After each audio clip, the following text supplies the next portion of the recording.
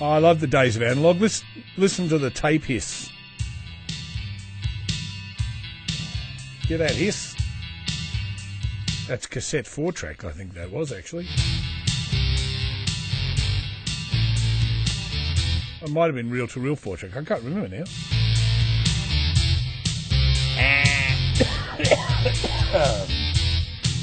Its episode sucks.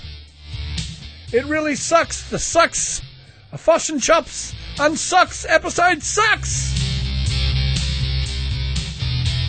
Ugh. Welcome to the Dumb Down Atheist podcast, the show that rings everybody when they're not home. I'd like to say thank you straight off, because I thanked him last week for Right Stuff for doing my five star review. I've only got one so far. Come on, please, please. Uh, someone else do a five. Even if you hate the show, just do a five star review, please, please. I'm asking nicely because you heard Jake Farwarton last week, and the more people that do it, the more I'll go up, which will really help. It really will. Come on, please, please.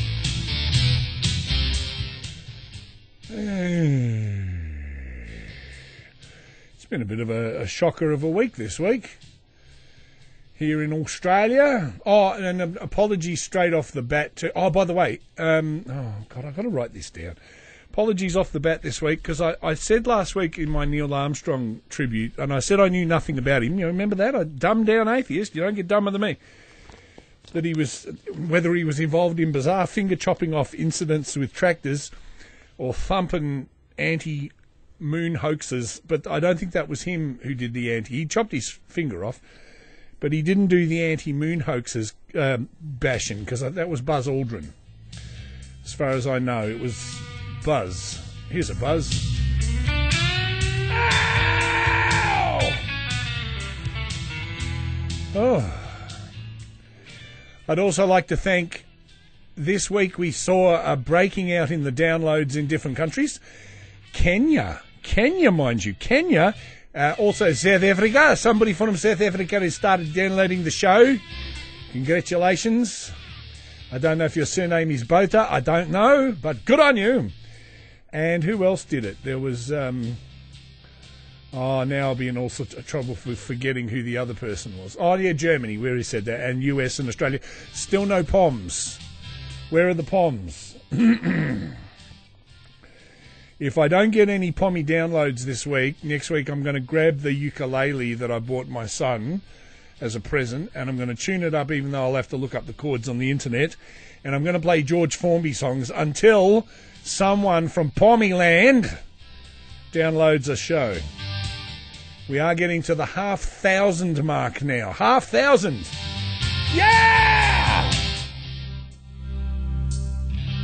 Wow.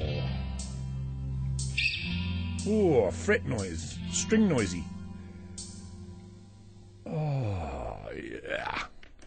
Sad news this week, too, uh, in Australia. Uh, we had five of our troops uh, killed in, Afghanis- in Afghanistan, which is really unfucking believable, but what can you do? This is from Yahoo News. Um, Kabul, Canberra, uh, Kabul, stroke Canberra Australia suffers its worst combat losses, combat losses since the Vietnam War, when five troops were killed in Afghanistan. Officials said on Thursday, prompting Prime Minister Julia Gillard to return home from the early from the regional Pacific Conference.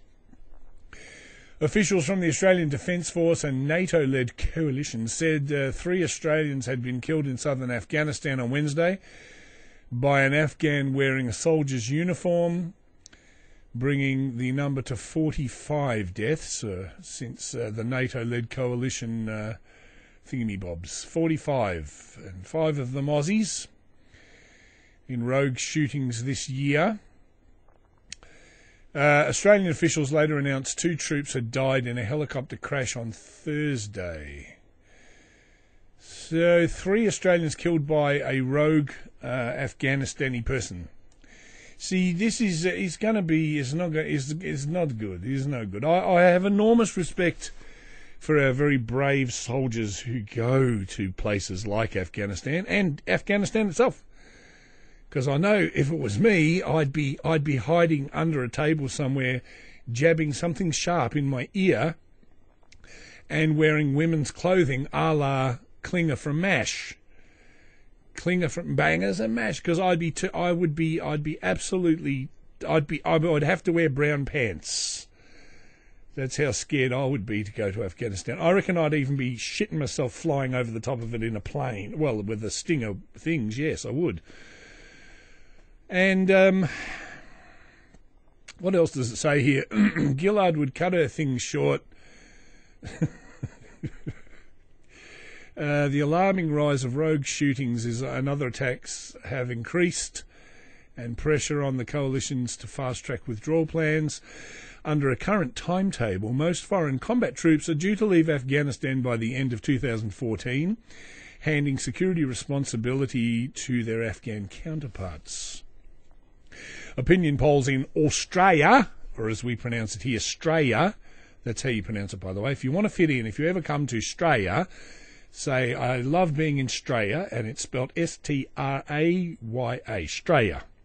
And I used to love in the in the seventies too, during our cultural cringe years, that um, you know some foreign person would jump off a plane, and the first thing the press would do is say, "What do you think of Australia? What do you think of Australia?" I don't know. I've only been on the bloody asphalt for thirty seconds, but it looks okay, I suppose.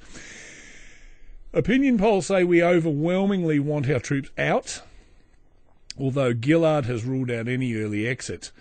Uh, we are there for a purpose, and we shall see that purpose through. Gillard said, in a very similar accent to that one. Australian neighbours New Zealand, New Zealand um, said last week that Fosh and Chups would be served at all times. No, they didn't say that. They said they would accelerate the withdrawal of its troops after three more were killed by a roadside boom. Ah, oh, bloody far out and freaking man. Um, Hunt. I'm sorry, what did you say? Hunt. Um, Australian Afghan forces are hunting for a man in an Afghan, Afghan army uniform who shot and killed three Australian patrol soldiers at a patrolly basey thing at Urgazan, Ur, Ruzgan, Ruzgan province, where around 1,500 Australian troops are based. 15 coalition troops have been killed in similar incidents this month alone.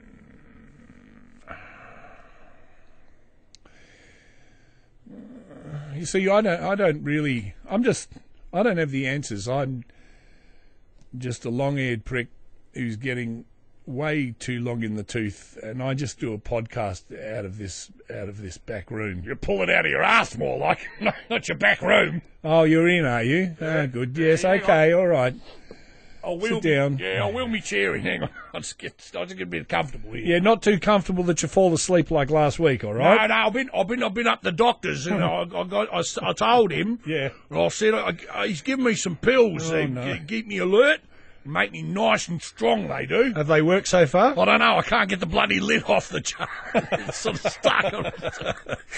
Oh, well, so they're not as strong as you thought they'd be. All right, now just just hold your horses. yeah, no, you? you're going to play me Spanish love song this week, aren't you? Yes. Because you, you, you, you, you, you, you, Yes. you uploaded it to that iFile Tunes. thing, didn't you? Tunes. Yeah, those people have downloaded that. They, they want to during the show. Yes, I know, I know, I know, I know.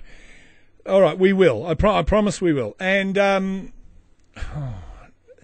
see, my my old dad, um, who was a Second World War veteran, always said that, um, as as many people have said, that when it comes to Afghanistan and the uh, you know uh, being up the Khyber Pass, Kick up the Khyber Pass.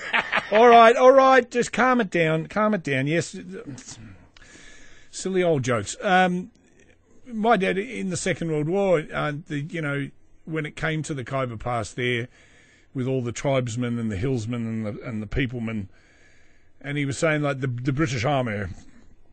If you, if you they used to say to the troops when they were guide, guarding like the the bit, like almost the gateway to it, they used to say we don't go in and we and, and they don't come out. We you stop them from coming out, but you don't go in because no one's ever been able to sort that mess out. And with the um, with the British troops, like if you shot a a bullet into that area, you had to go and find the empty casing because the tribesmen there would make a new bullet from your bullet. And then, as we saw, like with the Russians, they went there, and then how long? How long did it take before all the tribesmen, who later became like the Taliban and all that, started owning all the Russian weaponry, like the tanks and all the things, because they just we and as I said, like I think the troops are really brave, but I, I can't see I, I can't see there's ever really going to be a solution because I mean if you really look at the motive behind the whole Taliban thing, you realise it's just they're fanatics. So I don't know. I don't know. I don't. Um, I can't see it. I don't know what the answer is. Ban all religion, but then yeah, that's going to work with them, isn't it? Let's face it. oh, there's static on the line.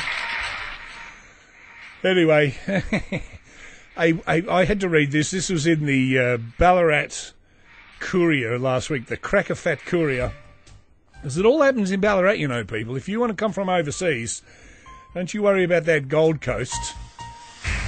Forget about the Sydney Opera House or any of that stuff. It's Ballarat's the place to be. This is where it's all happening, mate. If you like cold weather and, and, and lots of cloud and rain, come here. Although it gets hot in summer. When actually, uh, when I used to drive up to Ballarat when I lived in Melbourne many years ago, all it ever did was rain. It didn't matter where you come from. It could be 38 degrees Celsius, which is 100 and something degrees Fahrenheit, wherever you were the minute you got within spitting distance of Ballarat, the clouds would come over and start pissing with rain. And then eventually, one day when we moved here, we moved here during one of the biggest droughts the place had ever seen it, and we I think we were six months before we even saw a spot of rain. Made up for it since though. And so, ladies and gentlemen, it's my proud privilege to read from you for the Cracker, Cracker Fat Courier, Ballarat Courier, warm welcome for a new nun. A new nun. Uh, yes, uh, being part of the community of the Sisters of Loreto is just what Natalie Houlihan feels she's meant to be. Now, I've got I've seen a picture of Natalie Houlihan, the nun, and um, did you ever watch MASH? Remember Margaret Houlihan, Hot Lips Houlihan? Well, think of the exact opposite of that. She's a rare addition, apparently, in the headline to the Loreto community. They're finding it hard to find nuns these days. There are nun nuns. nun. Ooh, sorry. The 38 year old was welcomed into the blessed in, into the Institute of the Blessed Virgin Mary. Don't see many of those these days in front of a crowd of about 700 family friends, bishops, and sisters at St. Patrick's Cathedral. I'm ecstatic, Sister Houlihan said. This is what I believe God has called me to be. And in order to fully be that person, this is what I am choosing. Could be a bit of confirmation bias there, but I don't know.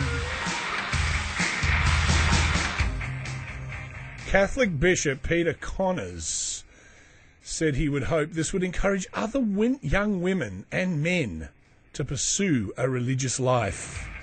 I kind of fancy, in a way, dressing up as a nun.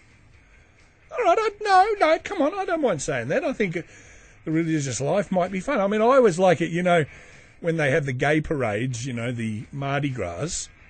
There's always there's always something very kind of disturbing and sort of fascinating in a way about seeing big burly men with handlebar moustaches that sort of look like Freddie Mercury on steroids, dressed up as nuns. You ain't gonna be getting none today, boy!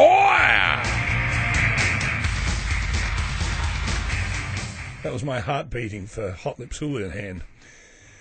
It's seldom nowadays, Bishop Connors said, very few men or young women, very few young, young, very few young men go into, or women go into the religious life.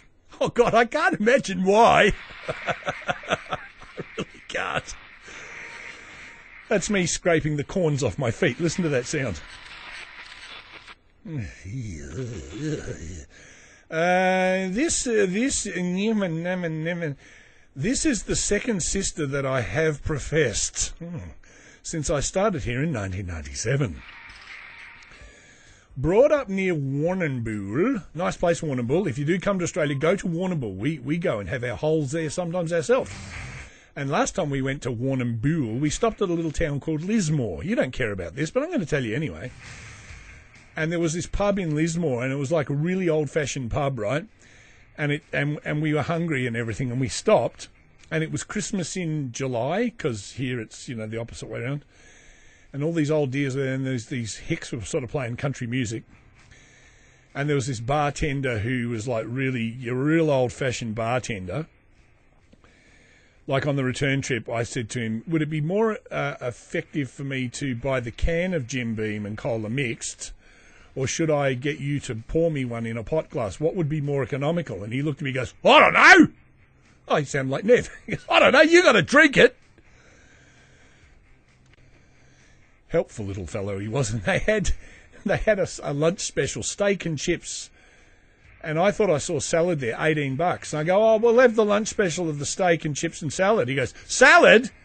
Where did you see salad? Who's put salad on the board? If I find out someone's put salad on the board, no, there's no salad. You get you get steak and chips.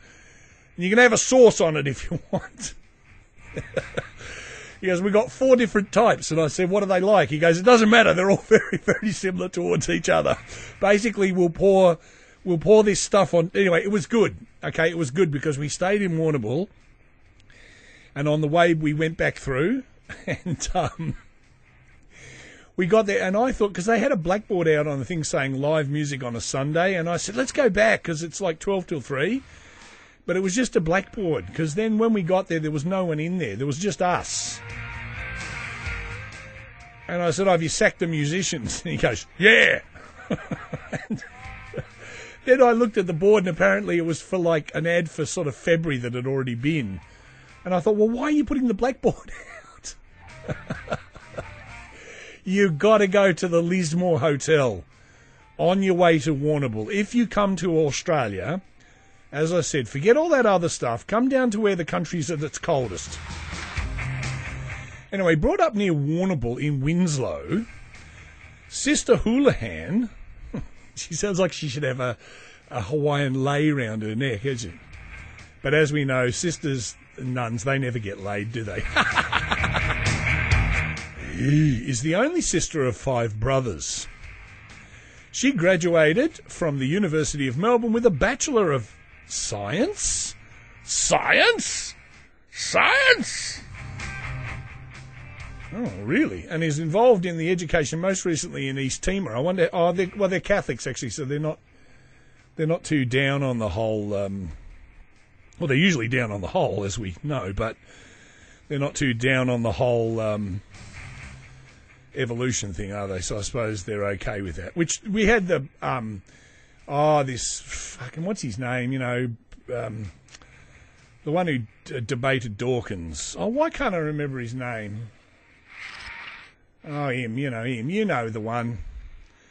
And he said he said that the whole Adam and Eve story needed to be taken with a grain of salt, and that he embraces evolution. George Pell, that's him. Yes, yes. Go to hell with George Pell. And so you shouldn't really take that too literally. And then someone said, well, what happened to the whole notion of original sin then? Hmm? If you tend to believe that. And he also said that atheists can go to heaven. Yay! And Dawkins, I guess, made him look like a bit of a monkey. And he was another one, not Dawkins, the other guy, George Pell, who thought we were evolved from monkeys, I think, from memory. I better be careful because Catherine Deveny wrote something about him, because he made a joke, as you would all know if you're in Australia, about um, we were we were training some young boys for the priesthood or something, and the audience all started to laugh. And she wrote some humorous thing about that, and then his lawyer people got onto her and said, We're going to sue you for inferring that, you know, someone of the Catholic diocese sort of thing might have an interest in young boys. I mean, what a shock. Anyway, he, I think someone must have sat him down and said, Have you heard of the Streisand effect?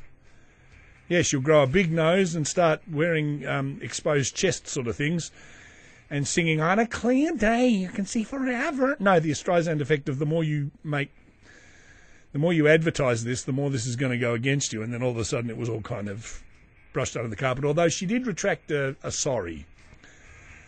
I'd like to say a sorry to George Pell. I'm fucking sorry you're like you are!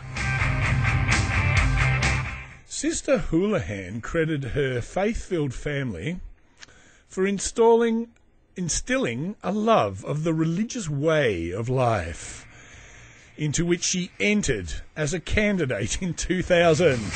She must have got voted in, obviously. Well, I, I, I really can't understand for the life of me how um, how on earth people wouldn't want to um, join the priesthood. I mean, it all sounds so absolutely feckin' wonderful, doesn't it?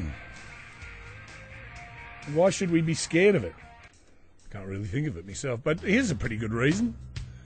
BrisbaneTimes.com.au Priest charged with abuse cover up, 31st of Augustus. Gloop, the nincompoop, 2012. Tom Brennan, ah, to be sure, it's Father Tom Brennan, is the first Australian Catholic priest charged with concealing the alleged crimes of another. Tom Brennan is the first Australian Catholic priest charged with concealing the alleged sex crimes of another. He was the right hand man. he was the right he ooh, he was the right hand man of a bishop. no, I'm not going to do the joke about whether he had KY jelly in his palm. That's disgusting. Just jokes, just jokes, just jokes. Don't mean it, don't mean it. It's all alleged, it's all alleged. Oh, it's just jokes, just jokes, all right? Guess who don't sue? He was the right. I, he was the right. he was the right hand man of a bishop and one time acting as a bishop, him, bishop, acting as a bishop himself, the same way I'd like to act as a nun in the get-up. Super. But priest Tom Brennan made history. For Father Brennan, 74, was arrested and charged yesterday with two counts of misprecision, misprecision, misprecision, misprision, M-I-S-P-R-I. S I O N, misprision of a felon, misprision Ms. Ms. Prison. Is that what? Is that? That's if you get found guilty, you go to Ms. Prison. It's like a bit like the Miss, the Myer Miss shops they used to have in Australia. I don't know if they've still got a Miss Prison. Hang on, I'm going to look that up. What's the true meaning of Ms. Ms. Prison? Um, Wikipedia says. Wikipedia says. I'm tooting again. I'm sorry about that. I, sh- I really shouldn't do it. It shits me when I listen back to the. It shits me when I listen back to this full stop, but. Um, and give me a look here. Ms. Prison. Oh, hurry up, you slow bastard. Thank you. Ms. Prison of felony uh, was an offence under the common law of England and was classified as misdemeanour. It's considered failing to report knowledge of a felony to the appropriate authorities. Exceptions were made for close members of the felon. Is that like why a wife can't testify against a husband? Is that something to do with that, is it? No, all right, I don't know. A family, a person was not obliged to disclose, disclose knowledge of a felony where the disclosure would tend to incriminate him of that offence. Development of uh, the modern law, this crime has been discarded in many jurisdictions. Oh, not where Father What's His Name lives, though, is it? No. As I was saying to someone the other day, I tend to get my religious knowledge more from Father Ted. Father Brennan, or the or the friendly Father X here in Ballarat, who shall be known as X, because of things that went on. Not that I'm saying Father Brennan is uh, innocent until proven guilty. Don't get me wrong. I'm not. So, I am no, no, I am not. I'm merely reading from the BrisbaneTimes.com.au. Okay. So, because someone said on the radio, it's either a great opportunity for uh, wrongs to be answered or for Father Brennan to be exonerated and cleared. Okay, and that's and I'm sticking to that. Uh, Father Brennan was in this prison, failing to disclose a. Oh, I need to hit the word wrap on this bastard thing. Hang on, that's better. Uh, failing to disclose a serious crime relating to the alleged child sex offences by defrocked priest John Denham. See, they even admit they wear frocks. You see, what's what's the great difference? If you're in the Catholic Church, whether you're a nun or a priest, you'll wear frocks. Super. John Denham against two boys in the late 1970s. The offences allegedly occurred, occurred at St. Pius. I think they needed to be a little more pious, perhaps, in that place and keep an eye on what was going on. Or allegedly, allegedly, allegedly, okay, allegedly. Newcastle, New South Wales, where Father Denham was a teacher and Father Brennan was the school principal, you know. Oh, would that be right, Ted? No. Yes, right, no. Great show, Father Ted. If you haven't seen it, find it on DVD, torrent it, although I didn't tell you, don't you dare torrent it. No, that would be naughty. Father Brennan was charged with assaulting two boys by caning them. Oh, God, after they allegedly reported being sexually assaulted by Father Denham, now 70. Strikeforce Georgiana Detective Sergeant Kristi Faber also charged Father Brennan with eight counts of sexually assaulting a boy eight at a Newcastle church in 1984 and 1985 and two counts of assaults. Dr. Bernard Barrett of the Victims' Rights Support Group, Broken Rites Australia, describes the charges as a milestone in Australia, as we pronounce it S T R A Y A, as a milestone in Australia. I'm sorry, can I get a lot of downloads from America, so I guess you can actually understand what I'm saying, can't you? Or would you like me to speak more like the crocodile hunter? Oh, crikey, look at that. Oh, jeez. Swordfish. Now, what got him? A stingray, wasn't it? That's right. I always said one of his crocs would get him. I always said that. I said, you watch that. That bastard won't. Now Bindi's really coming along. She's got a show on TV here. I don't know if you guys have been treated to that sort of thing. Bindi's, what is it? Bindi's, oh, uh, Bindi's, a bit like um, Survive. It's a bit like that, where they make kids eat grubs and worms and puppy dog's tails and and I'm amazed just how much she really looks like Dad. I think she's been homeschooled as well. And I want to know is she as fucking annoying in real life as she is on TV? God love you, Bindi. They named her after a noxious weed here, I think, that when you walk on the lawn with bare feet puts prickles in you. Yeah, that's her, yes. That's exactly right. The charges were laid months after uh, international publicity over the first American conviction of a senior Catholic priest for hiding child sex crimes by another priest. One of the hunter men who alleged Father Brennan caned him in 1978 after he alleged Father Denham had repeatedly sexually assaulted him at school thanked police uh, for a determined investigation if this makes one person stand up and say, This is what happened to me, then I will feel better. I, I can agree with that. It makes me feel a little better too that finally some of this stuff is now having its day in court, as it were. Very much so. Oh, sounds like that rain's coming back again. Yeah, could be. Okay, so that's the story of what's his name and thingamabob. But have no fear. Just when you think life can't be any more feckin' stupid than it really is, here's a little here's a little thing that should depress you because it depressed me a bit. I've got to say. Um, just hold on a second. I will I will read this. I just I just want to check out my Facebook for a sec.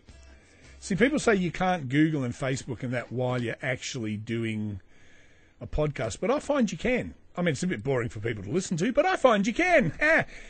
now I'm going to call this prick again. I called last week Mikey. I'm going to call him. Hang on, I'm going to call him again because I was getting really sick of him. Um, I want him to come and defend his stance on that fucking awful film, The Cabin in the Woods. And he shouldn't have to get away with it. Besides, if he's on the show, I know I can count on one more download because his ego won't allow him not to hear himself. Hang on a sec. Absolutely instantaneous that was. Uh, calling, calling. Can't hear anything. I can't hear anything. Can you hear anything at home where you are? Can you hear a damn thing? Oh, it's calling his mobile too. I tell you, this Skype's all right. Not that I'm going to do an ad for them. Um, at calling real phones, it's quite cheap. It's not bad. I spoke to Jamie DeWolf for about an hour and whatever the other week from Oz to America, and it was only about I don't know, a couple of bucks. Let's see if he's in. Uh, I, I, uh, I'm calling his The mo. person you've called is not available. I can let them know you've called by Oh, can sending a text message with your phone number. Oh, If text you don't want message, eh? Text, Yeah. hang up before the tone, and you won't be charged. Oh, really? call charges apply. Oh, You yeah. Proceed. Okay. I bet I'll still get charged for using Skype After though. the tone, please enter your number, including the area code, followed by the hash key. I, ha- I haven't got a number. I'm calling on Skype. They never give you a number to call back. The other. After the tone, Yeah. please enter your number, including the area code, Oh, followed by the hash key. Oh, fuck off this. Gee, she had a broad accent, didn't she? She had a very broad accent. I mean, what would people from overseas think if they hear that? So they all sound strange over in uh, Australia. Australia!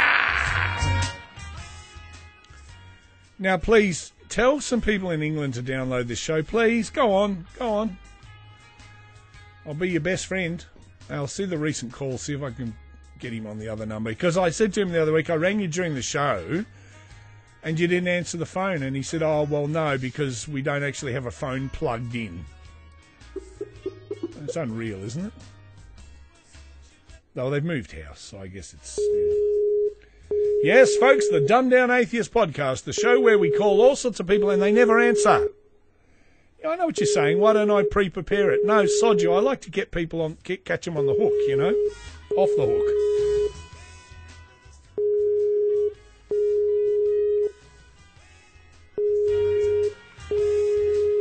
Nah. I'll try him a bit later. And uh, he was on Facebook before, and I was going to try and get him on that. Pretty sure he's got his little headset. Is he back online? Nah, useless. How dare people have a life? Okay, now back to this thing. Um, I've still got to catch up with that priest too. I wish I'd brought his number down here. I should have done that. I should have go back and get it actually. Oh, I don't need to do. It. Oh, yes, I do because yeah, that's right. He's got an unlisted number. man, man of God doesn't like to be found. Here we go. Now, this is where they lash back. This is from the Huffington Post. So I got to admit, I'm a little bit, little perhaps a little bit doubtful with when I see um, Huffington Post stories. I tend to, I tend to take them with a bit of grain of salt, if you know what I mean. Not that I'm not saying they're a wonderful online publication, because they probably are. Catholic priest sex abuse. Father Benedict Grosch, Groscher, Groscher, Friars Renewal, Legion of Christ, National Catholic Register, blah, blah, blah. In a recent interview with the National Catholic Register, Father Benedict Groeschel of the Conservative Franciscan Friars, well, they might be able to make me some nice hot chips, mightn't they? Or French fries, as you like to call them over there uh, of the renewal, uh, Fra- Franciscan friars of the renewal said that teens act as juices. Oh, let me mm, teach you the art of seduction. oh, come and look at me etchings. And that coming out of a teenager's voice. You wouldn't expect that, would you? In some, some sexual occasions, sexual, not occasions, in some fornication for an occasion like this. They had champagne fornication like this. in some sexual abuse cases involving priests. It has been close to a decade since an investigation into clergy sex abuse cases by the Boston Globe unearthed a shocking scandal and cover up that rocked the foundations of the Catholic Church. Well, it might have if it hadn't, I guess, been for all those other allegations that rocked the foundations um, and around the world. Ten years may have passed, but the wounds have yet to fully heal in America, especially in the light of the recent Penn State allegations, as well as the trial of Monsignor William Lynn, former secretary to the, of the clergy in the Archdiocese of Philadelphia. Uh, Philadelphia. In light of this, the recent comments by Groeschel seem both puzzling and jarringly out of step with current sentiments. Yeah, because he's probably half bloody feckin' senile. I mean, not that I'm. No, don't sue me. I don't think you really are. I just said it as a joke. I just, if I just, the thing is, like, I noticed that in Father Ted. As I said, I get all my knowledge of the Catholic Church from Father Ted. and they had Mrs. Doyle. You know Mrs. Doyle, who was in Father Ted. Well, if you don't, go and find it. Because Mrs. Doyle was always offering the priest cups of tea and biscuits. You go, oh, go on, go on, have, have a cup of tea there. Oh, no, thanks, Mrs. Doyle. I don't think I will. No, go on, go on. You don't. Would the bishop like one too? Oh, no, thanks, Mrs. Doyle. Oh, go on, go on, go on. You want a cup of, have a nice cup of tea. And then she'd say, You don't want to be Bishop Piggy in the middle, do you? No. See, I'm giving it a great wrap up. You really got to see this show. If you haven't seen it, Americans, see it. It's worth it. It's fucking funny. Um, and the thing that you get from that was Mrs. Mrs. Doyle would do everything for Father Dougal Maguire and Father Ted, you know, iron their clothes and make sure their beds were made and uh, run round after them. And I've noticed that myself a little bit from even just priests in our local town. If you kind of get involved with them, they're always they're always putting the bite on you for something. so I can understand that they're out of touch because they've just got sort of people who do everything for them.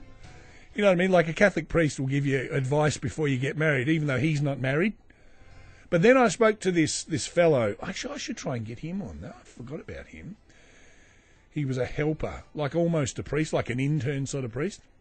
And I said, because he was an Anglican or a Episcopalian, as you Yankee boys like to call it. Uh, and he said, "Oh no, well you know it's all well and good for you to sort of criticise them because they're not married, and how dare they, you know, uh, lecture and in sort of uh, about having a marriage." But what you got to realise is us uh, uh, Anglican, pissed, us pissed Anglicans who are drunk all the time on the wine, uh, and pissed means something different here in Australia too. Pissed means you're drunk, not pissed as in I'm really pissed at you, you bastard. Um, where was I? Oh yeah, he said, well, you know, because we're married and we got kids and everything, and we find we find it hard to uh, conduct our, our our ecclesiastical work and stuff because we are weighed down by the weight of a family, whereas a Catholic priest has more time on his hands. Or, or as I said before, lubricant. But that was just a joke. That was just a joke, all right? It was just a joke, Joyce. Um, so yeah, so they've always got people doing stuff. So I'm not surprised they're out of touch with everything. Well, not out of touch with everything. I mean, that's what I say the other day. I heard someone say, you know, God made us in His image and He gave us everything to play with, like a child on Christmas Day, and then told us not not to play with it. I mean, how does that work? You know what I mean? He gave you the equipment, and he said, "Oh, don't, no, don't be touching that there. No, no, no, leave that, leave that bit alone." that reminds me of an old joke. We were so poor in my family growing up that on Christmas Day, if you didn't wake up with a heart on, you'd have nothing to play with. This is meant to be taken seriously. I don't know who, maybe by people that are fucking nuts, but. Uh, the um, um, Groeschel was like, no wonder no one wants to come on the show. And I tried. Oh man, I, mm, I, I, I went. I, I did this gig right. I was going to say, yeah, priests always put the bite on you. We had this priest the other week for something my wife was doing. He came to give a chat about working with people, and the first thing he said to me was, "Would you like to come to the Sudan to do missionary work? You'll have to pay your own airfare, by the way." And I went. I'm thinking, and then he said, "Oh, you, I noticed you play guitar. You'd, you'd be fantastic. Why don't you come down to the to the group we have and come and play your guitar for us?" And I'm thinking, you know nothing about me. Like I'm a full-on feckin' atheist, and I wouldn't I wouldn't spit on you. No, that's not true. He was he wasn't a bad bloke, but but I'm just thinking, you've only just met me, and you're already you want something. You know. Anyway, what was I saying? Um, Oh, I can't remember now. It's gone now. Um, the uh, breakaway found in Chambers. I might have to play that bit back and listen to what I was talking about. In the National Catholic Register posted this week, Groeschel was asked about his work with the very conservative Friars of Renewal, a breakaway order he founded 25 years ago. The conversation took an interesting turn. However, when the editor asked about the 70 year old, 78 year old's work with sexual abuse perpetrators, uh, he said people have this picture in their minds of a person planning to, uh, hang on, of a person planning to a psychopath. Have this picture in their minds of a, I'll read that the other way around, a psychopath planning to, Groeschel said. I think they've left a bit out there somewhere. Um, But that's not the case. I don't really know what that means. Suppose, he says, suppose, suppose you have a man having a nervous breakdown and a youngster comes after him. A lot of cases of the youngster, oh, that's what I was going to say. Yeah, Dean Hutton. Just let me write that down for a second because I'll forget it. That was the bit I was going to say. Tom O'Toole, hang on. Dean Hutton. Okay, just I've written that down now, so I won't forget it. Um, the conversation took an interesting turn, however, when asked about his work with sexual abuse perpetrators. Oh, okay, so he's not working with victims, he's working with perpetrators. Well, that just makes a whole lot of sense, doesn't it? Um, people have this picture in their mind. Yes, a lot of cases. This is. Oh, I can't believe I'm reading this. This is what I mean. It's a Huffington Post, so I get a bit sus on that.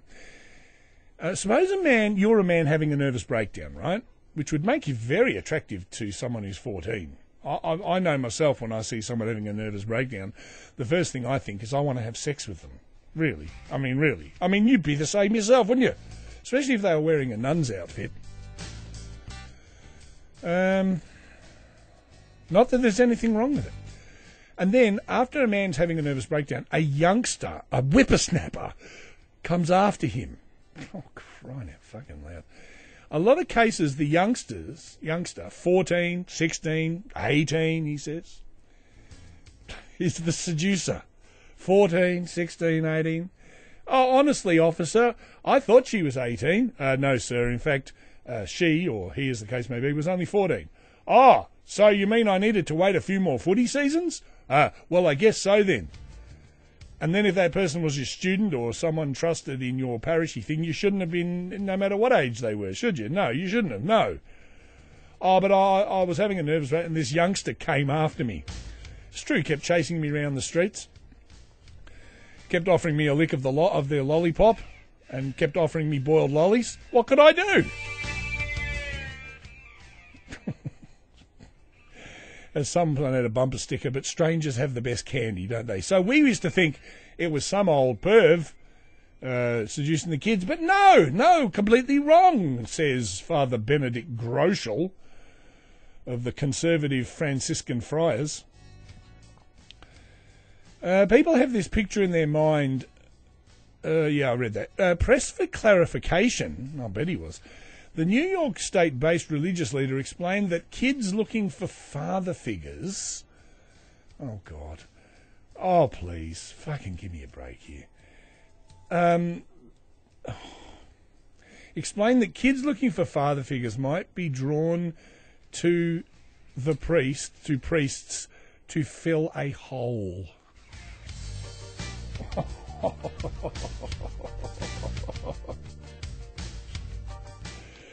to fill a hole. Sounds like he's dug himself a bloody great hole there. Oh dear, oh dear, you ain't wrong. I don't know if I'd want to be in choir practice with him. No, you got that right. Looking around, if you know what I mean. Yeah. Oh, I think I've dropped one of my candles there, you know. Hey, you wouldn't want to bend down and pick that up, would you? No, lights out by 11, candles out by 12, eh? Oh, God. Um. Oh, hell. I don't believe. I don't believe. You'd have to be. F- I mean, oh, man. Who would come out and say this sort of stuff? I mean, maybe if you were joking, but it doesn't say here that he's joking. And even if it was joking, it'd be very poor taste. And to hear other poor taste jokes, folks, don't forget the Dumb Down Atheist is the podcast for you. Furthermore, Groeschel expressed a belief that most of these, quote, relationships, unquote, are heterosexual in nature. And that historically, sexual relationships between men and boys have not been thought of as crimes. What, by NAMBLA, perhaps? Hang on, I've got to read that again. Furthermore, Groeschel, ex- Groeschel, as he should be known, Grosser, right, expressed a belief that most of these relationships are heterosexual in nature and that historically sexual relationships between men and boys have not been thought of as crimes. This just gets better and better, doesn't it? That's why I don't pre-read a lot of this stuff because I like to be able to display my shock.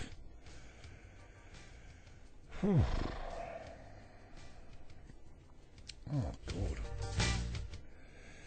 If you go, this is him talking again. If you go back 10 or 15 years ago, with a very, with very, with different sexual difficulties, except for rape or violence, it was very rarely brought as a civil crime. What, sex between men and boys wasn't. What? What? What is this guy going on about? No one thought of it. I need almost like some rescue remedy after that. I think I'd better go and get a packet of that chewing gum from last week. Four drops of rescue remedy. No one thought of it that way. I'm inclined to think, in brackets, a priest's for, on a priest's first offence, in brackets sort of thing, they should not go to jail because their intention was not committing a crime. Oh.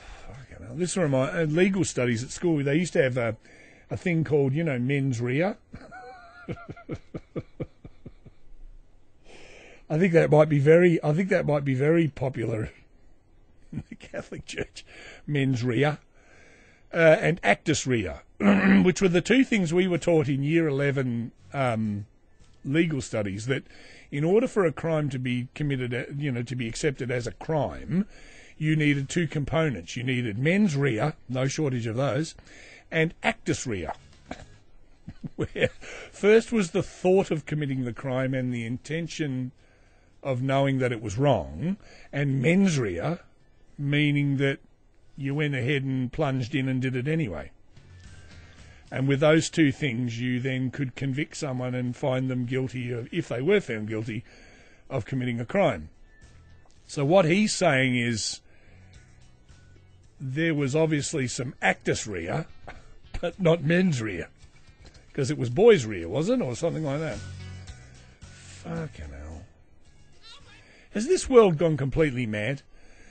Uh, in fact, oh, fucking hell. In fact, the interview was published without comment in a National Catholic Register and was significant due to the public to the publication's affiliation with the disgraced Legion of Christ Religious Order. That didn't seem to read right, but I think we got the idea what they were talking about.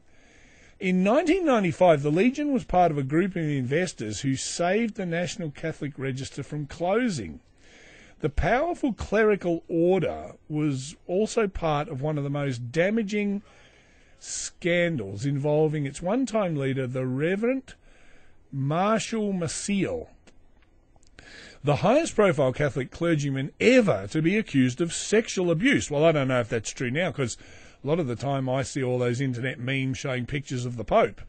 And people seem to be accusing him of, well, or is it more covering up with him? I suppose it's more covering up, isn't it? Yeah, I like. I got one the other day on the Facebook. What is it said uh, with the Pope saying, "I love it when boys blow me away with their devotion to God." People don't care what they put on Facebook. They don't care, do they? No, they don't. So, Poms, can can we please have some Poms to bloody download? Not only will I do George Formby, I'll even sing some Max Miller if you want. You know, why not? In 1990, I read that bit, didn't I? Yes. In 2005, the Vatican scrambled to minimize the damage done by revelations that the extremely influential Mexican priest had been abusing seminarians for a year. Yes, he was extracting semen, semen, semen, semen from his seminarians. Uh, Groeschel is an influential voice in the American diocese and continues to maintain a high profile in the church, writing several books and appearing weekly on a religious television network. Now, I'd be lying if I said I know what that um, that network is, but um, yeah, hmm. uh, the priest received a doctorate in psychology from Columbia University in 1971 and now lives in Larchmont, New York, where he assists with Trinity Retreat, a centre for prayer and study for clergy he founded. Trinity House stirred controversy in 2006. Yes, I imagine it probably did. When the press learned that New York priests credibly accused of sexually abusing children, but not legally convicted, had the option of a long life close supervision program that began with a stay at the retreat. Wonder if they have internet access there. Might be an idea to go through their hard drives. Uh, anyone from law enforcement who might be listening? Might be an idea to just check to see. I bet. I bet every time someone finishes using the computer there, they clean out the cache and the, uh, the history files. Only that, I'm just joking. I don't really know that. I don't. No, no, I don't know that. No, no, no. It's just a joke. It's just a joke. Just a joke. All right, it's just a joke. No, no, no. I've never been there. I don't know these people. No, wonderful fellows. I really, truly. In the wake of community objections, the Archbishop, the Archdiocese later removed Trinity, ha- Trinity House from the list of programs offered faci- from the list of the programs offered facilities, according to the Larchmont Gazette. Groeschel is also a professor of pastoral psychology. Well, what does that fucking mean? It's like it's like saying I went to Bible college and I got myself a degree in divinity. It means fucking probably nothing. Pastoral psychology at St Joseph's Seminary. There's that word again, seminary of the Archdiocese of New York. And remember, folks, quoting The Simpsons, women and semen don't mix. Hey, Darby! Darby! Yes, Neville. Go on, play me Spanish love song. Put it on. Need a bloody lightening up from all this bloody. Oh, dreadful bloody business going on here. Oh, I never knew that. Well, growing up, I was I was a bloody altar boy, you know. Hey, nothing ever untoward went on with me. No, well, you're an ugly looking bug. I'll turn this off. Hang on. That's better. Uh, sorry. All right. I'll uh, I'll get you. I'll get your song queued up, Neville. Neville's Spanish love song, Nora, Nora, Nora. It's the Spanish Nutcase. When I met ya, This about Auntie Nora, Uncle Nev. said I never would forget ya. Yeah, no, that's right. Yeah. But I let you slip away, and I regret that every day. Cause now I'm all alone, like a dog without his bone. Oh, Uncle Nev, that sounds a bit rude. Oh, Nora, Nora, Nora. Your appeal goes to the Cora. You're the apple of my eye, love. Never be another. Nora, Nora, Nora. You're the one I'm rooting for. Oh, that has a different meaning in Australia, Uncle Nev. Oh, Nora, Nora, Nora. You're the one I'm singing for. Universal language of love, this is. Yeah, Nora, Nora, Nora. Please pick up that phone and call her. Would Auntie Nora's phone work in Bali, Uncle Nev? Go away, you're a bloody nuisance. I realise that I've upset you. What did you do, Uncle Nev? You wanted to buy Fifty Shades of Grey and I wouldn't let you. but I'm so confused up in me head because of all we done and said. And a real man shouldn't cry, but me eyes is turning red. Would you like to borrow me hanky, Uncle Nev? Nora, Nora, Nora. Your appeal goes to the Cora. Oh, Nora, Nora, Nora. You're the one I'm rooting for. Nora, Nora, Nora. This song I'm singing for you. You're like one of those love gypsies, Uncle Nev. Oh, Nora, Nora, Nora. Please pick up the phone and call her. You all right, Uncle Nev? Oh, Oh, that bit sounded like a pop-off, didn't it? Bloop. I'm in despair. Shut up, you're spoiling the song. Despair of old boots that I wear. I'd walk a million miles, get rid of the old beer bottles and broken tiles. Fix up our house, and on your face I'd paint a smile. Would you dress her up like a clown? Oh, Nora, Nora, Nora. Your appeal goes to the Cora. Careful of your Uncle Nev. Yeah, Nora, Nora, Nora. You're the one I'm rooting for. I really don't think you should sing that bit, Uncle Ned. You know what it means. Nora, Nora, Nora. A song I'm singing for ya. Hey, Nora, Nora, Nora. Pick up the phone and call her. Oh, Nora, Nora, Nora. You see, I'm not a snorer. Oi, vey. Yeah, Nora, Nora, Nora. You had read the Torah. Oh, Nora, Nora, Nora. Life is so much poorer. Yeah, Nora, Nora, Nora. I grovel on the floor.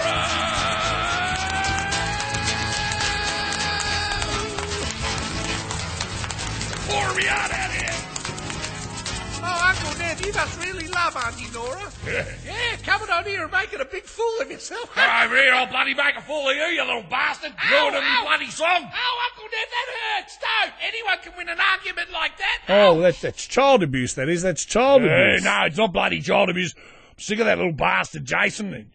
He, he spoils everything. He just, I didn't know he was hiding in the bloody hmm. control room when we done that song. Well, I got to admit, I did let him in. I, I felt the song was.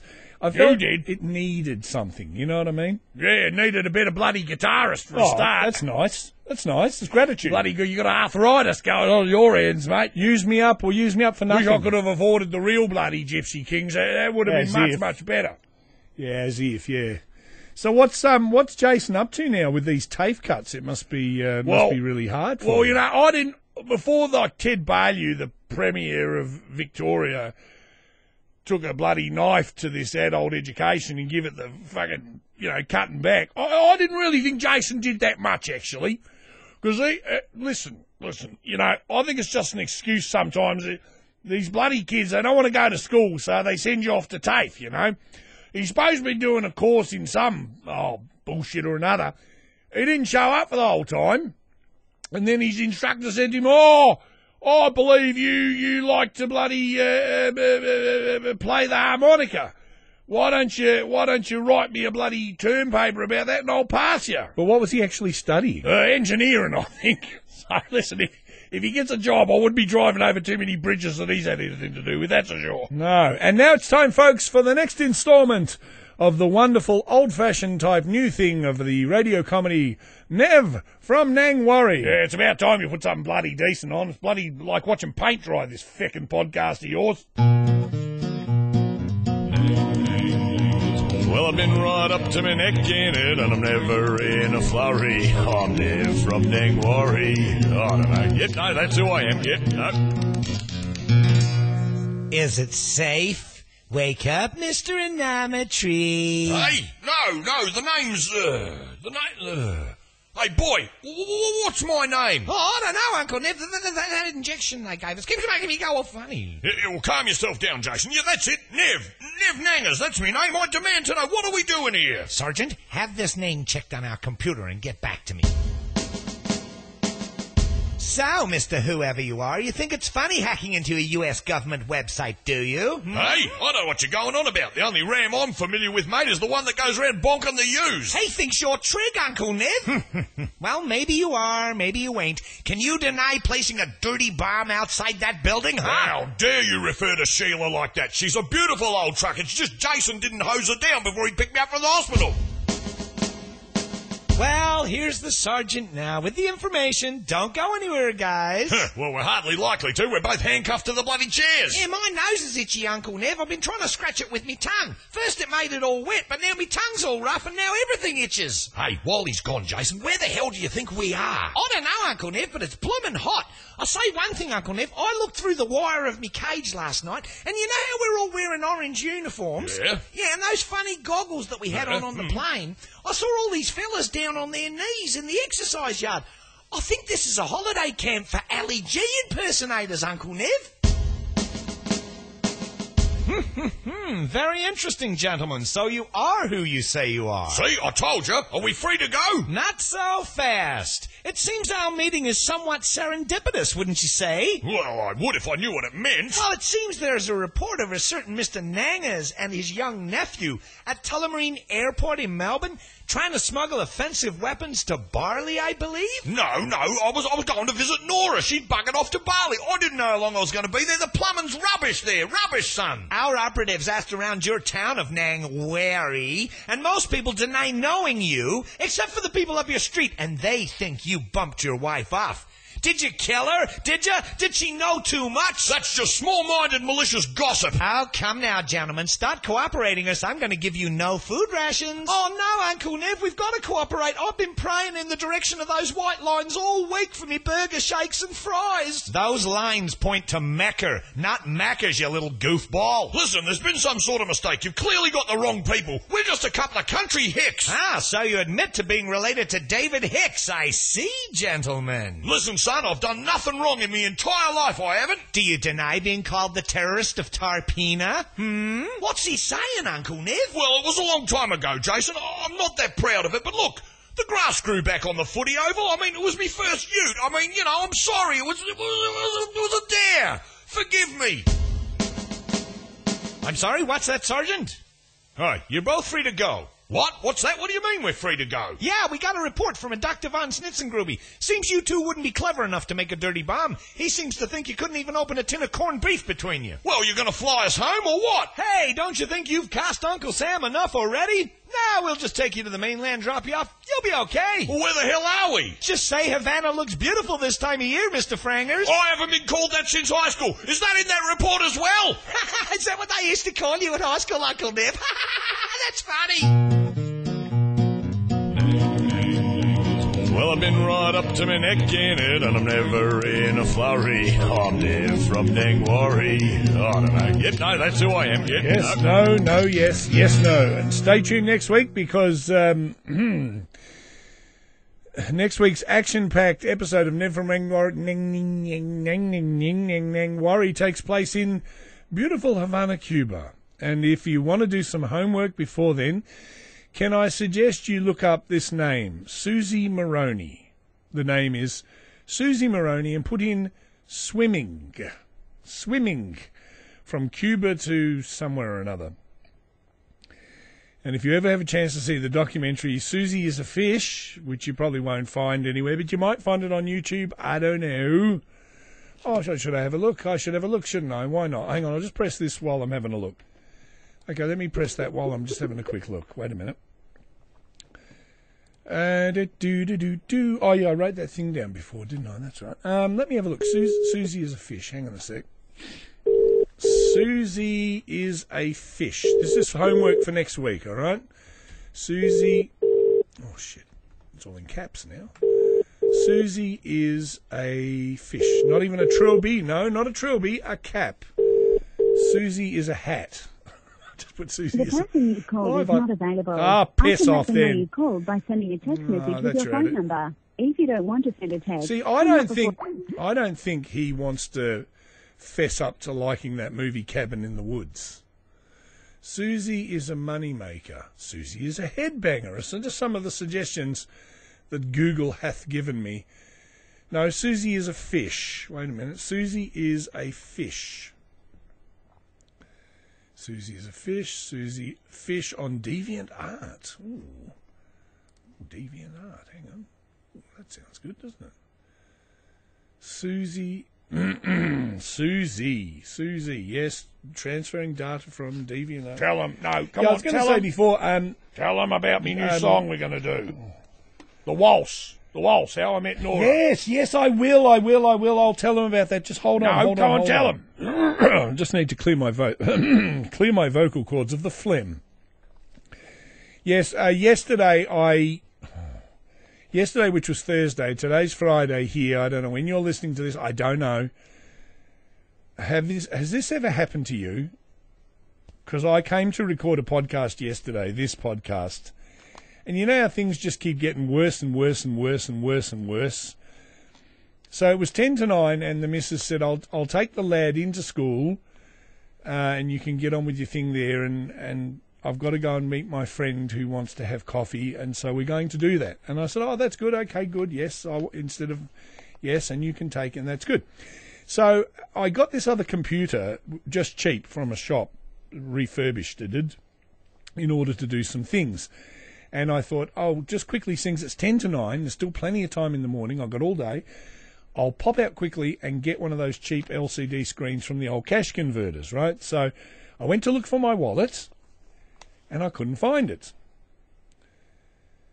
So I thought, oh, okay, mm-hmm, mm-hmm, all right. Um, so I, I, I had twenty dollars sitting, thirty dollars sitting in in a tin, and I said, oh well, I'll go and see if I can barter them down for the for that monitor that they only want thirty five dollars. Luckily, I had the thirty dollars sitting there that I'd agreed to pay for to somebody, and I thought when I find my wallet, I'll take the thirty dollars out of that.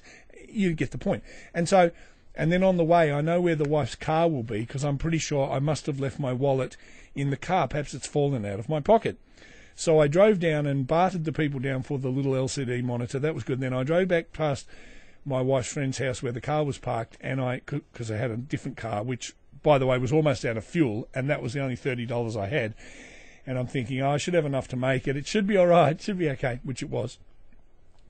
And I searched through the car and I couldn't find the wallet. And I went inside and I said to her, Look, I've lost my wallet and I can't find it. She goes, Oh, well, you know, little the little chaps had doonas and things out everywhere in the lounge room.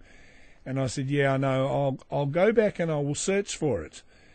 Uh, so, okay. So I came back to search for it and I pulled the house apart looking for it.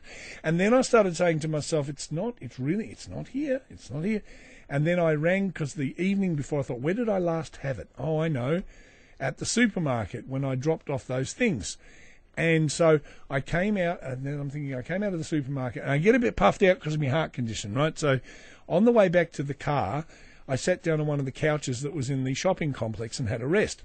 And the and the couch is the same colour as the wallet, and I thought maybe it fell out of my jacket pocket onto that brown couch. And that's maybe why I didn't see it when I got up. And I'm thinking, oh, this is not looking good. It's not looking good for a guy in the podcast. And then I searched the house and then I rang the shopping centre, I rang the supermarket, and they all went, no, not at all. No, not at all. No, no, no. And meanwhile, it's getting later. And then I thought, right, I'm going to have to think about cancelling all the cards that are in the wallet. And you know what a nightmare that is because then you just don't exist. And so I searched the house and then I jumped in the car and I drove back to where the other car was while the other car was getting even lower on fuel. And then I searched through the car again and then I went inside and I said to my wife, I've now searched it. I can't find it. I can't find it. I don't know where it is.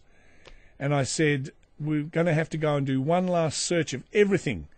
And we did. And we searched. And by this stage, it was now 11.30.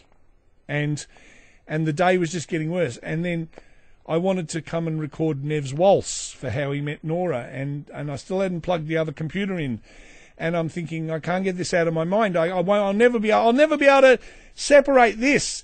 And now I'm about to ring the bank, and we checked on the website for the bank, and no one had used the credit card. And we thought, well, that's a good sign, isn't it? And, and then after we just about to give up by quarter to twelve, my wife said would it be in this case here? And I found I'd found this old case in a uh, in a junk shop. It was an old trumpet case. And my son, who's only seven, had had my jacket on the night before for the five minutes I was in the toilet. He said, "Could I wear your jacket?" And I said, "No, you can't." And I, I heard him banging and thumping. And when I'd come out of the toilet, he gave me my jacket back, and it felt like there was weight in the pockets because the keys were in there, and I naturally thought everything was still in there. And I've said, well, that's the only choice. I've either lost it on that brown couch in the shopping centre, which if I have, it's gone forever. And I wouldn't mind if the people took the money. Not that there was much money in there because I haven't got much money. But it's the cards. It's the cards. If I've lost the cards, it's going to be weeks and weeks. And I've only got three days left of my heart medication. And that means you're going to have to come with me. I said to my wife to the actual pharmacy, otherwise we won't get the discount on the heart medication and because you'll have to show your card and I was tearing my hair out because it's really awful you feel like a non-person and it's weird isn't it because you take your cards with you wherever you go in your wallet And when you think about it, you keep taking them away from your house. It's almost natural that the law of averages says sooner or later you're going to lose that wallet or someone's going to steal it and you're going to be a non person. And that happened to a friend of mine because then when she came to go and get all her cards, no matter where she went, people would say, Have you got any form of identification you could show us in order for you to get your new card? And she said, No, because my wallet was stolen. And to my best of my knowledge, like six months later, I don't think she's got all her cards back. So by this stage, I'm really like frothing at the mouth. And I'm telling myself, it's all right. You just got to accept it's gone. It's gone. It's okay. It's gone. You'll get over it. You lot, you had your wallet stolen, you know, about 20 years ago uh, from a gig you were doing. It's okay. It will right itself. You'll get everything back. Don't panic. You you you you can you can do this. You can do this. You can do this. I said to myself, and then a part of me was like, no. And the day's being wasted, and I'm not getting anything done. And then my wife said, um, "What about in this old trumpet case that's here by the piano? We got a fifty dollar piano from someone, right? And I thought, good for the kid, because you know if he wants to." Tinker with the ivories. Why not? You know. And I said, but that's impossible because that case has not been opened like since I bought it. If the if that wallet was in there, that would be something of a miracle. Not really, really a miracle. And she flips it open, and she pulls the wallet out, and I said, that little that little bastard. He put that in there last night and it must have been when he said, Dad, can I wear your jacket? And we had searched every. We, I'd, I brought home a frozen cheesecake the night before from the supermarket. I searched the freezer. I searched the cupboards. I searched the bags that I take with me when I go swimming and everything. And I knew it wouldn't be in there. I searched everything, but I didn't think of the sealed box there because, it, well, I mean, why would it be in there? Right? Why would it be? Or why, why would it be in there? I'll tell you why. Because a child had put it in there in the one brief second when I was sitting trying to have a poo in peace after he had brushed his teeth. And I said, just go out there and I'm just going to use the toilet. Can I wear your jacket there? No, you cannot. But he did. And that, and then, yeah, and then I got nothing done yesterday. And then by the time I sat down, I managed to plug the LCD screen in and swear and yell at the thing because I wanted it to do some MIDI stuff with the computer thing that I got. And because I wanted to record Nev's touching waltz, which we will get around to doing. And everything was just shot to shit. Now, I know you're not interested in that. I don't blame you for not being interested in that. But isn't it amazing how fucked up things are sometimes? Anyway, and and then I said to my wife, right, he's got to learn. He's got to learn to be a little more responsible. There are children in the world, in the third world, I tell you, starving, up chimneys, scrubbing, cleaning, and like pre-industrialized England, who are more responsible because they have to be. And this kid, he's got everything I damn well said. So I tell you what I'm going to do, I said to the wife. I'm now shoot me down in flames if you're a child psychologist, because you'll probably disagree with this and you'll say, "Oh, how cruel!" I said I'm going to take my belt off, and no, I didn't say that at all because my pants would have fallen down. But what I said was, "Look, this is what we should do." She goes, "But he didn't do it out of malice. He was doing dress up day at the school, and he probably just wanted to be just like you." And I said, "Yes, well, I'm not the sort of person who would hide someone's wallet." We almost rang the bank and cancelled all the cards. And how, how, how would we have felt if, if, if we then found the wallet? I'd have felt like an idiot and we wouldn't have been able to uncancel it. She goes, Well, at least I found your wallet. And I said, Thank you, darling. You're the light of my life and I love you for that. Okay. And she goes, Do you think you would have looked in there? And I said, No, I don't think I would have. Because to me, it, why would it be in there? That just doesn't seem sensible. So I said, This is what I think I, am going to do. And I said, I should take his Nintendo Wii game. And what I'll do is I'll put it in my laundry hamper, right? And when he comes home, we should just say nothing, right? Say nothing. And when he comes in to play Skylanders, and that's a whole different ball game in itself, Skylanders, mate. If your kids want Skylanders, just open up your wallet, right? Give them your bank account details because you're just going to keep getting milked. Because every time they do something, you need a stupid little toy that sits on this silly little thing. And my friend Michael, who I want to defend these charges about this cabin in the woods, showed me a box of them when I went round to his place, and he had like about 400 bucks worth of them. And I go, man, you're a big kid. I can understand my kid wanting them because he's only seven. But what's your excuse? Anyway, that's another story. So I said, I should take the Nintendo Wii and hide it, right? And when he comes home, we shouldn't say anything. Okay? And then when he goes to play it, like he should come, oh, where, where's my Wii? Um, I don't know. I don't know. And then I said, let him let him sweat on it for about thirty minutes, right? Where we play dumb, and then at the last minute I should go, oh, that's right, sorry, sorry, I, oh, how silly of me, I grabbed it during the day and tucked it away in a laundry hamper, and then I could have raised the subject of the wallet and said, see how it feels when you know you're panicked about something that's important to you and you you you can't work out for the life of you where it would be because you're pretty sure you brought it home even though now you've run shopping centres and put people out and caused all sorts of and wasted your entire day when your time is precious you see and my wife said no nah, I don't feel I really don't feel good about that I really don't think you should do that now, I'm the man of the family. I'm not one of these people. I, I'm not always politically correct for the sake of being. Sometimes I am really old fashioned, and I and I dug my heels in, and I said, "No, all right, I'll put the bloody thing back," and I did.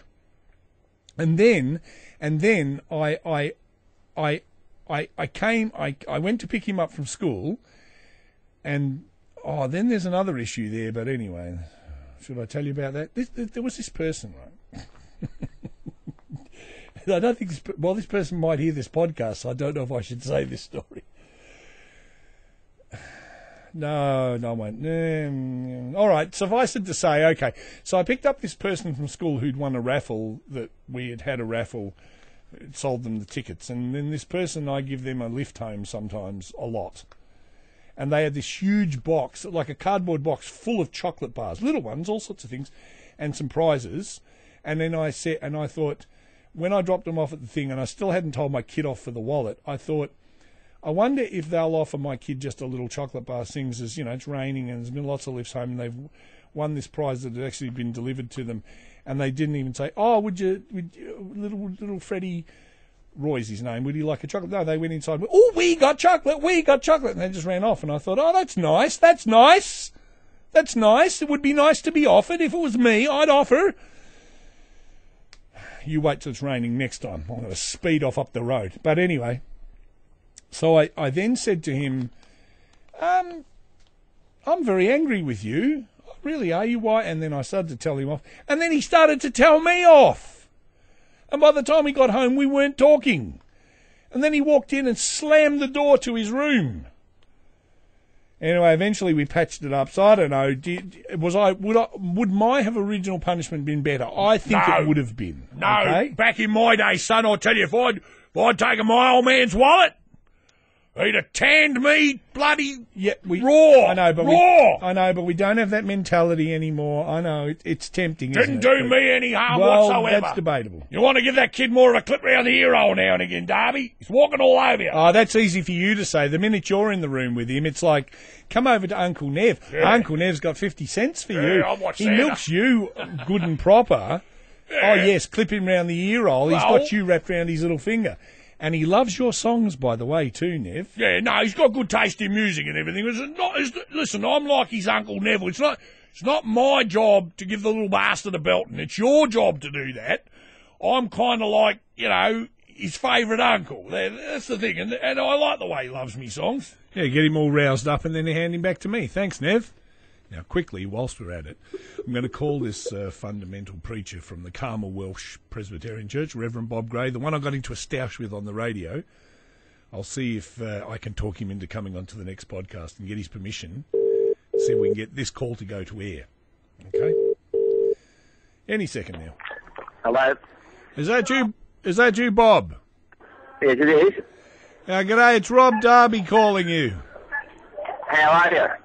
I'm not bad. I um, I was calling back to see how you went with that um, with that thing about the uh, debate. Yes, uh, I um, have uh, uh, put that before the uh, the um, directors of uh, of the um, radio station, and uh, I'm waiting to hear back from them. So I've got your number in the um, in my book, and I'll call you as soon as it's organised. Well, if they doesn't work, would you consent to appearing on my podcast? Yeah, I, I'm, I'm I'm quite happy with that anytime. Yeah, yeah, you, yeah. You would? Okay. Well, I'm actually just Yeah. I'm re- I'm just recording this now. When is a good time for you? Uh, well, um, uh, probably at the moment I'm I'm I'm in uh, Village all this week, or Stockland Wendouree, uh, with our little store for our work in the Philippines. okay. Um, but um, but uh, a, uh, a a Sunday afternoon when I'm not on the radio is probably the the better one. yep. Okay. uh, because I finish uh, my um, my uh, uh, church service at about eleven thirty, and then we have a cup of tea afterwards. So I'm I'm usually on radio at about twelve, but that's always a bit of a push. So um, probably from about one o'clock on a Sunday afternoon when I'm not on radio. Well, is there any time to call you during the weekdays? Yes, um, the um, uh, usually um, I'm I'm I'm free of a of a Wednesday morning Yes. unless I'm called to something in the hospital or or or a funeral or something like that. But usually I uh, have my Wednesday morning free for preparation. So.